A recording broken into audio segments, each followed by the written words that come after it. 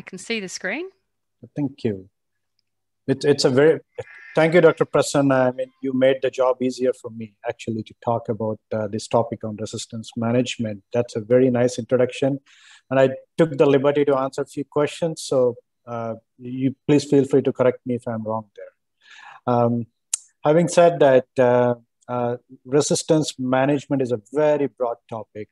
And when you look at fall armyworm, it's, it's even more bigger.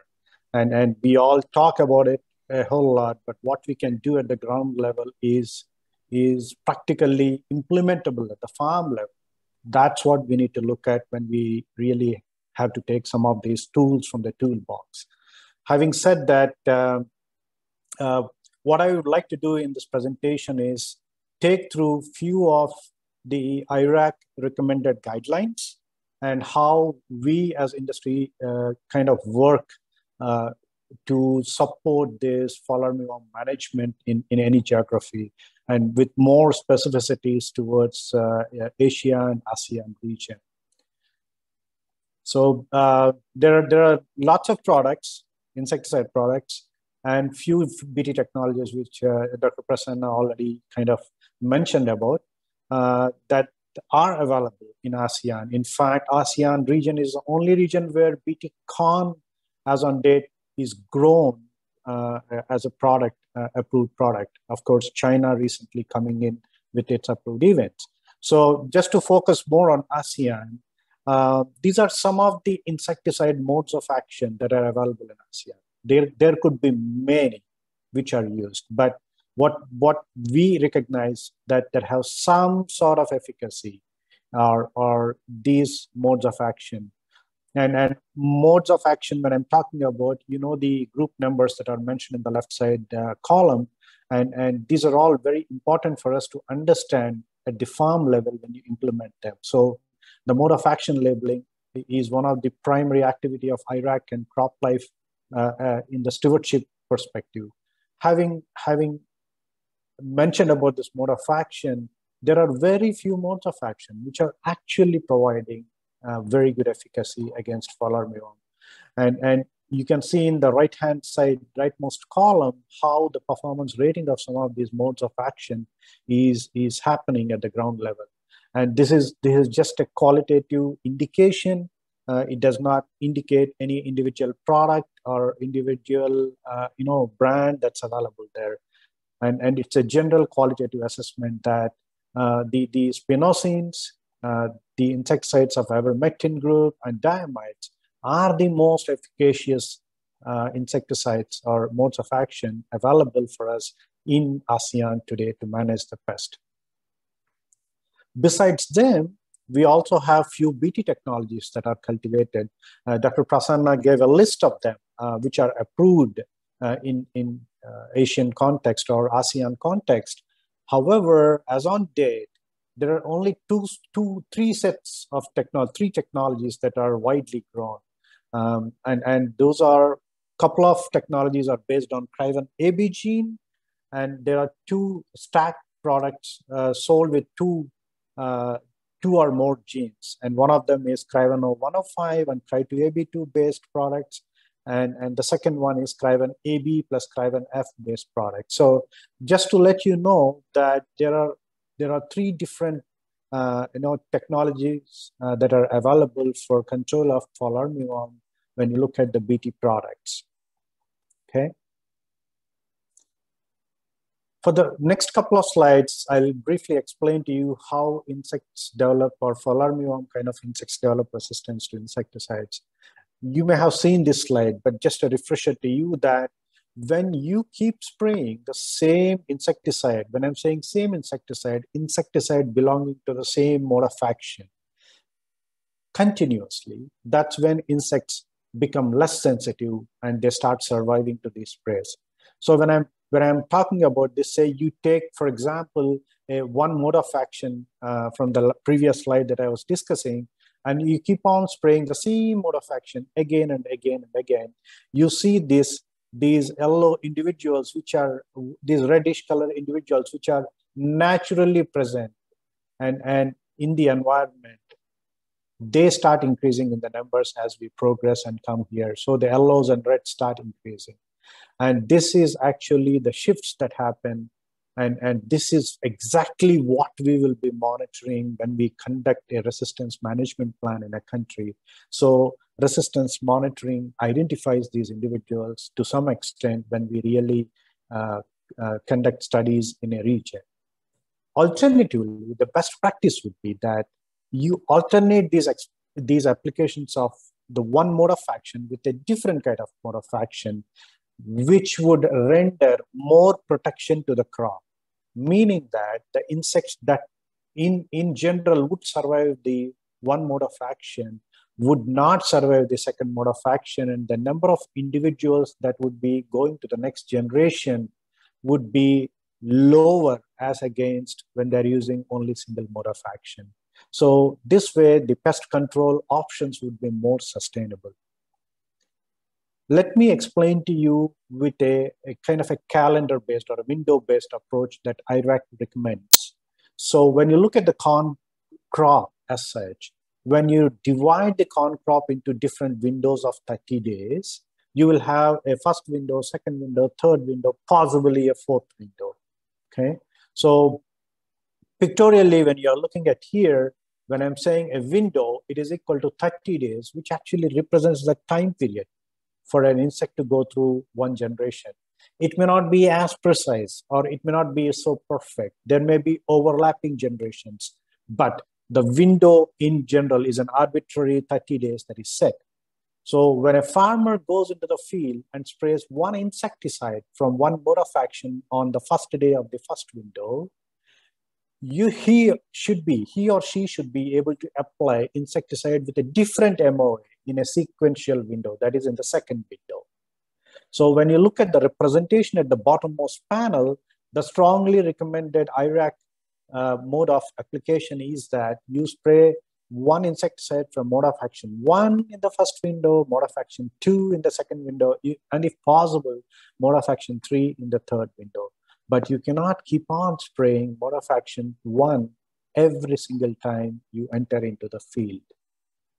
Okay, this is very important. We have been talking about it time and again everywhere, but the, the sense of it is very difficult when you go to the practical uh, application, you know, scenarios in the field level. So don't worry about overlapping generations. Don't worry about how many insects are there. If there is if there is a sense that you need to spray and you think that that is a recommended threshold in your country, go for the first spray. Scouting and monitoring helps us to do that, which I'll be discussing in the next slides.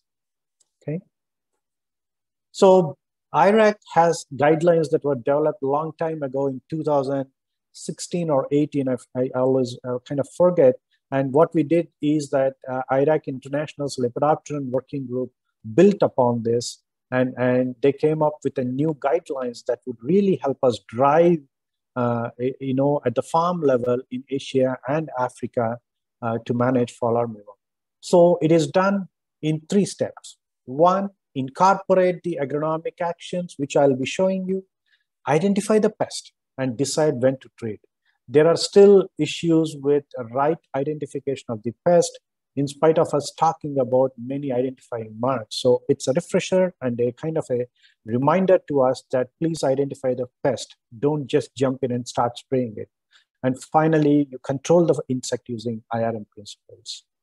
So when I said incorporate agronomic actions, uh, I think uh, Dr. Prasanna touched base earlier about IPM uh, practices. All cultural practices that you follow in a field will help dilute any kind of surviving insects that would affect the crop, not just during the current season, but also in the following seasons. Okay, so the step one is to keep in mind of these you know agronomic actions you could do before planting remove all the volunteers and cover crops. You plant early with the first rains. You start scat you know scattering these planting dates in a region. You are giving a very good crop continuum to the insect to survive. So try to avoid that. If possible get into a community approach in a village or a small city or a province and start growing or planting this crop at the same time. Most importantly, destroy the infested plant parts and crop residues. These will have a lot of resting stages or larvae sitting in there, which would be waiting to move to the next crop when it comes up. And above all, although it's easy to say control weeds, if you have a weed control options, please use them. We have seen fall armyworm surviving on weeds many places across globe. So a good weed management and a clean field will help you reduce these carryover populations. Identifying pests, we have spoken about it. Please try to identify the pest properly. Look, do scouting regularly once the crop emerges.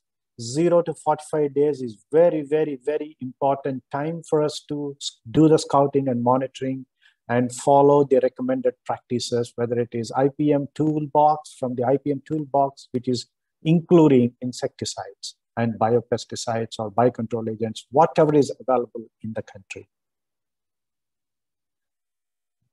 As I mentioned, you need to follow the IRM principles. I, I quickly uh, addressed upon earlier how modes of action needs to be rotated. Beyond this, you also need to remember very carefully that use those insecticides that are recommended. Do not go for off-label use and illegal products, which in fact may not provide the necessary control. And so this highlights the fact that the IRM principles and IPM principles go hand in hand, and everything done under IPM will help in resistance management. Having said all of this, how do you how do you see the success of these practices? And one of the good ways is to monitor the resistance development the pest while using all the tools in an IPM toolbox. And this is done with an effective resistance monitoring program, which this project is going to be focusing on uh, in many, many countries in ASEAN. When you look at the insect resistance management using BT technologies, I already mentioned that there are three products based on three technologies available in ASEAN. One of the most important thing is the effective dose and use of a refuge. I think Dr. Prasanna already addressed about it. Uh, the key would be to use two or more mechanisms of action, which provides better control. I think entire industry is working very hard to address and bring products with two or more mechanisms of action or modes of action you call it it's very important that to know that industry is working towards this and we already have products in hand which are grown in asean um, we also need to do resistance monitoring which is being done in the cultivating countries either at field level as a, as a performance monitoring or at the lab level uh, industry also works together and does a lot of regulatory outreach in terms of refining these plants and conducting uh, com- compliance surveys when the products are sold. And most importantly, we always work towards bringing new generation technologies into ASEAN. And, and, and I believe each of the industry has its own new products in the pipeline. In spite of doing all of this, the key here is to have appropriate hybrids. I earlier was addressing a question uh, from Dr. Siva that whether we can use susceptible lines. Of course, susceptible lines are key for refuge, but it is just that agronomically they should be equal to the BT hybrids or BT varieties that come into the space because that provides that agronomical synchrony for pests to develop and provide uh, a right refuge or effective refuge in the environment. Most important, I really want to harp on this for next few seconds that for armyworm management, we, we, we should consider a holistic multi-stakeholder approach. Uh, we have been talking about IPM toolbox continuously, but we also should be basing it upon clear evidence-based advice to farmers. Many, many farmers in ASEAN, except in the countries in Philippines and Vietnam, do not even know how some of the products work. And I think it is time that these products are enabled for uh, you know these farmers to be uh, you know kind of visit and see with their own eyes how it's working and make a decision on whether they want certain products in their country or not uh, specifically to highlight here a country like indonesia which has the largest corn growing you know area acreages I think it's very important that we see that some of these BT technologies, which are already proven, are, are, are uh, you know, kind of uh, enabled for farmers to see their uh, performance in Indonesia. Uh, access to technology, this again goes back to my Uh, evidence-based uh, you know, provisions to farmers uh, that regulatory system should be able to enable this access to technologies, to products and technologies uh, in, in countries where it, it, they need it most importantly, the stakeholder coordination. I believe, I strongly believe that this project and, and ASEAN action plan will provide a very good platform for this stakeholder coordination. I think stakeholder coordination was very important earlier in North America and in South America, and it's going to play a major, major role in managing this pest. We somehow need to learn how to live with it now. That's following on. So we might as well come together and join hands to uh, build a strong multi-stakeholder approach for managing this insect. These are a few of the key takeaways that I thought I would leave it here. And, and, and, and although I didn't touch base upon scouting, Uh, it's, it's very important as part of IPM to do scouting. When you have a product or a technology planted in the field doesn't mean that you know you encourage farmer to sit and, and, and, and not bother about the crop. No, scouting is very important. And I, with that, I just want to stop here. Great, thank you. Thank you. Thank you yeah. so much. That was very good. Um, excellent. Lots of information there, and I've got lots of questions coming in. We'll have to be quite quick. We're a bit tight on time, but that's okay, okay. because I'm going to be rapid fire here, Srinivas. You're going to be answering them uh, okay, you know, I'm done. I'm like a like a game show. No, um, seriously. Um, are there? Now, we, we, had this before, and this was mentioned actually in the previous presentation. But I think this would be a good introduction to the questions. Are there any BT corn single gene as well as stacked reported to have become resistant to fall armyworm? It's uh, the BT single genes that are actually that reported resistance or is in uh, South America and Puerto Rico. And it's to the Cry1Ab and Craven uh, F and Cry1A.105, which actually was impacted due to the single gene resistance. Okay. And it's mostly in South America. Yeah. And and so I think you mentioned this, but you have, and I think Prasanna also mentioned it around these, you know, single gene events. They are used that BT corn in the Philippines, and I think there was an example in Vietnam as well. Is that right? And if so, I think also Prasanna said that it's quite important to introduce maize pyramids producing two or more toxins that are each highly effective against fall armyworm. I mean, is that would that be your sort of comment? I mean, given that you have resistance that has already uh, turned up in South America with those single events, is it important to move away from those and move to stacked or pyramid hybrids? I, I, I, kind of agree with that, and I think that's that's what I mentioned. That industry is working towards bringing these uh, stacked hybrids into the uh, countries, cultivating countries, and and that's a need of the hour. Yeah. Okay. And and and just to high, just to kind of mention there, there is no BT resistance reported, or even close to saying that in Asia. It's all on the other side of the world. Just just so that we are we are aware of it and be clear on that. Yeah. Excellent. No, thank you. That's good. Um, here we go. What needs to be done to get universal mode of action labeling in the region?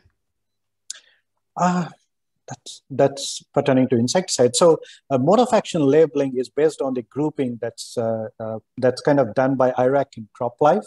And, and it's, it's universal. And, and it is more to the countries in each of the regions or, or in a continent to approve a mandatory labeling or a voluntary labeling.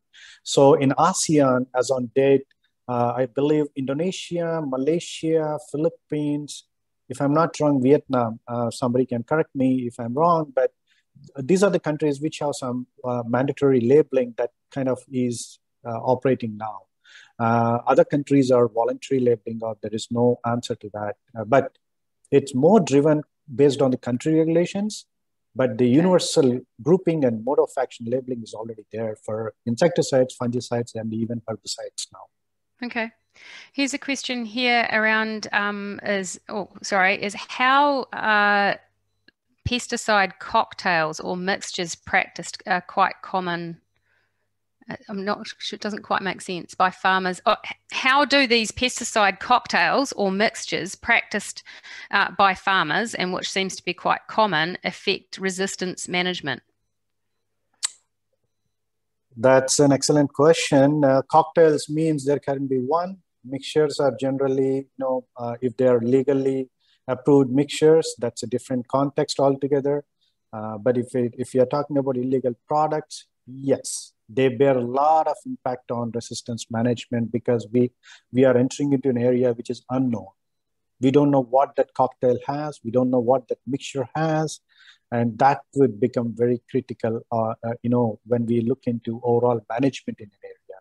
And, and, and, and if you're monitoring for one insecticide, whereas the cocktail has two, three other, which would impact the insect in a minor way or a major way, then we wouldn't be knowing it. So it's, okay. it's very complicated cocktails and mixtures. That's one of the reasons we don't encourage immediately, uh, by uh, particularly at the illegal products level. Yep, no, definitely. Difficult. I think yep. that's very good advice. Um, a question here around can, can you mix uh, or, or, use rotate, I guess, uh, biopesticides and conventional pesticides uh, in as part of a resistance management plan? Absolutely. If they have value, why not? So it's it's just that uh, you know most biopesticides uh, you need to look at their stability and how long their efficacy or residual action we call it, and and definitely should be using it. Uh, the only thing is if you're mixing it, please check your label recommendations and compatibility recommendations if there are. So some at times the insecticide may impact a biopesticide. So please check okay. for your for the recommendations of the product. Great. Particularly the bio, particularly the biopesticide side, not the conventional pesticide. You know. Okay. Couple yeah. more questions here. You seem to advocate clean weeding, or I guess cleaning up residue that was left uh, around the crop, as an important fall armyworm management tactic. Doesn't this go contrary to the promotion of natural enemies? That that's a good question. So it, it's a, it's a choice. It's a choice, or how do I say, a balance between what do you do at the beginning of the season? For weed management perspective you don't keep on spraying herbicides to just kill the weeds anytime they come up. But at least it's a balance between what you want as a weed management perspective but crop stubble destruction is a recommended practice in many places. And i don't think natural enemies dwell on uh, you know in crop d- destroyed or how do i say crop stubble that's left uh, in in, the, in a field and and that's very important for you to consider that that uh, probably there will be more armyworm in it than the natural enemies. Excellent. And yeah. I guess just just before we go, I think um, Chris is uh, is having a question here. It actually quite similar to the alternating the pesticide mode of actions um, by inserting biological control into uh, IRM schemes. Um, hence, shouldn't conservation and augmentation biological control become core components of insecticide resistance management against fall armyworm? That's that's a question. Well, Chris, good question as always, and and uh, like I like I mentioned, any any any tools from the toolbox which would help sustain a product is always good. And and if if you're talking about ecological engineering, kind of or uh, conservation kind of uh, uh, tools. Once we understand them better in the asian context where the agriculture is on commercial scale uh, it's not a subsistence agriculture as we see uh, like like we see in some african countries or sub-saharan africa. Once we understand that if it's working why shouldn't we include it? Always. Excellent yeah. Great, and um, I, there's some quite there's a quite a few questions left in there for you, Srinivas, if you could answer them. And there's also one okay. from Wilma in the chat box. Wilma, if you could put them in the Q and A box, that would help. But it is very much around uh, seeking cooperation from the industry to make the event test strip available, so we can verify whether the plant damaged is in a GM field or not. So I'll let you answer that in the Q&As in the chat, Srinivas, because we have to go to our next speaker. But thank you so much for your presentation. Uh, as always, uh, excellent and lots of information and also practical advice. So it's, it's perfect. So thank you very much, Srinivas. Thanks, Alison. And I'd now